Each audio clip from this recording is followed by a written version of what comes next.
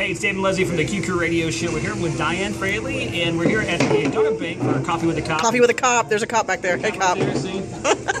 Better not say anything making you feel lazy, but she heard us. We're giving away Land of Lights tickets, the car pass, and she says, "Hey, I heard you guys were giving away passes." We said yes, but she did not realize that we're going to make her work for it. Okay. Yeah. So, what's your favorite Christmas song?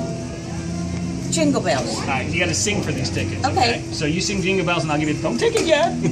You sing. Jingle bells, jingle bells, jingle all the way. Oh, what fun it is to ride in a white horse Open sleigh. Hey! Jingle Sing it, Frank. bells, jingle bells, Frank, too. jingle all the way. Oh, what fun it is to ride in a one horse open sleigh. Hey! Woo!